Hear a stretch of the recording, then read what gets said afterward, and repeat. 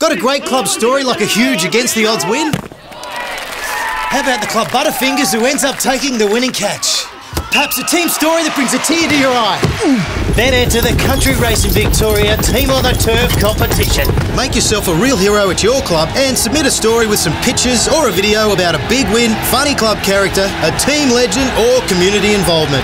Enter on the Country Racing Victoria Facebook page and then watch Off the Bench TV on the Prime Network on Friday nights or online. There's a $500 prize every week, and you're in the running for a $5,000 club sponsorship and a $5,000 marquee at the Country Races. Country racing now. It's a great day out.